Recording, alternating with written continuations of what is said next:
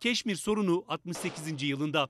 Keşmir 1947 yılından bu yana Hindistan ve Pakistan'ı 3 kez savaşa sürükledi ve bu savaşlarda 70 bin insan hayatını kaybetti.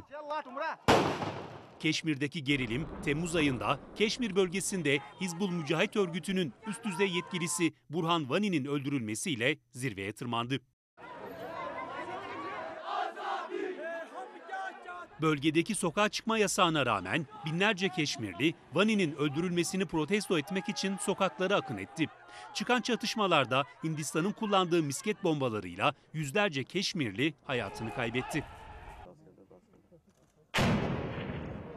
Peki Birleşmiş Milletler'in en eski gündem maddelerinden biri olan Keşmir sorununda son gelişmeler neler? Observed by the Kashmiris in occupied Jammu and Kashmir. as well as 1947 yılında the Hindistan güçleri Keşmir'i işgal and in the etti. O günden bu yana işgal has devam ediyor ve Keşmir'de yaşayan insanlar 1947, her gün acı 27th of içerisinde.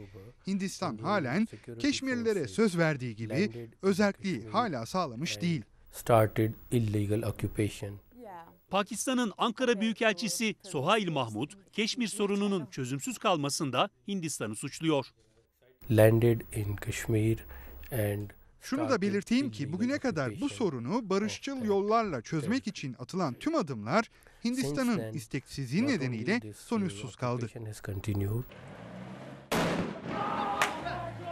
Indian security forces have been using excessive force.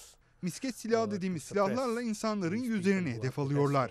Vücuda giren misket parçaları tüm vücutta gezerek önce kör ederken sonra Keşmirlilerin ölümüne sebep oluyor. Temmuz'dan bu yana yüzlerce insan hayatını kaybetti. Keşmirli liderler gözaltına alındı ve bölgeye ne insan hakları örgütlerinin ne de medyanın halen bir erişimi yok. Yıllardır yaşanan acıları protesto etmek ve Keşmir halkıyla dayanışmada bulunmak için 27 Ekim Pakistan tarafından Kara Gün olarak adlandırılıyor. Keşmir halkı ise geleceğini kendi belirleyeceği günü bekliyor.